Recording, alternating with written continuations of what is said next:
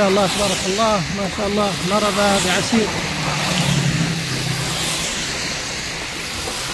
اليوم الرابع من شهر رجب 1444